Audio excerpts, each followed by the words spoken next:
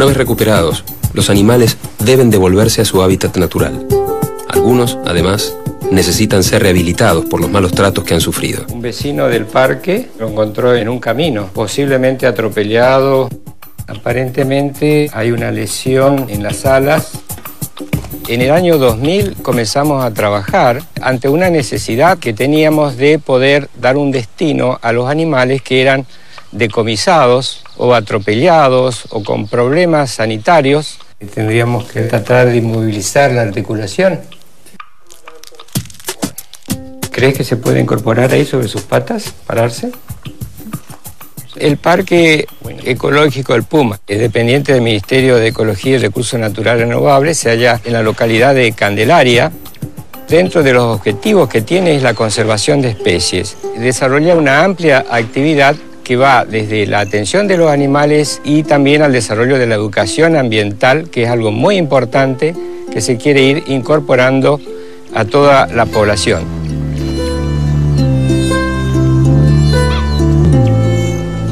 Básicamente las especies que son recepcionadas en el centro son todas especies nativas.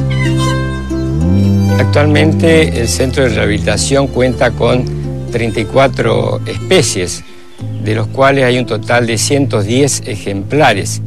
De las que existen aquí en el parque son especies de mamíferos, aves y reptiles principalmente, dentro de los cuales podemos hablar de un lote de yacaré que han sido producidos aquí y liberados nuevamente al río.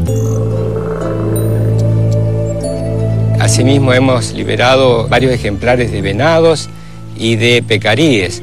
Todos ellos va acompañado de un seguimiento. Principalmente tratamos de ir obteniendo información de cuál fue el resultado de esta liberación.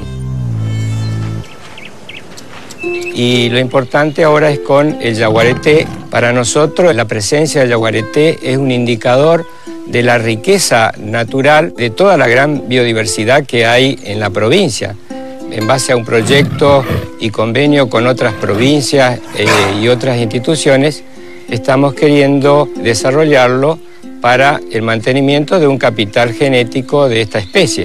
Tiene buen ritmo cardíaco, un poco acelerado. Aparentemente no hay ninguna sombra. Eso que se ve ahí, Miguel, es todo grasa.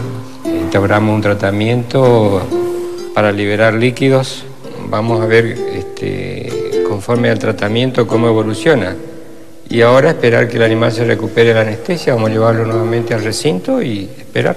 Para atender todas las actividades que se hacen en el Puma, eh, trabajan ocho personas para atender los aspectos sanitarios y de seguimiento de cada especie que ingresa al centro.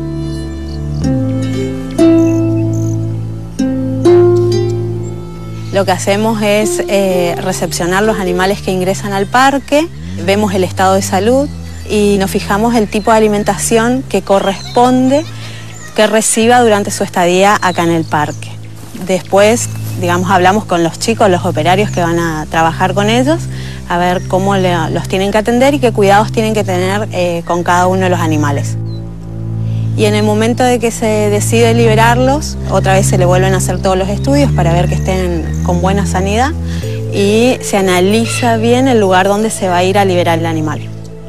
Los animales que no se pueden liberar porque tienen algún problema físico o motriz generalmente, eh, quedan acá en el parque y son utilizados para educación ambiental. Todo un desafío hoy por hoy ir llevando esta política que significa aprender, conocer, para poder este, conservarlo. Visitar a través de un sendero la selva nos muestra una gran cantidad de cosas que, que solamente aquí se pueden, se pueden ver.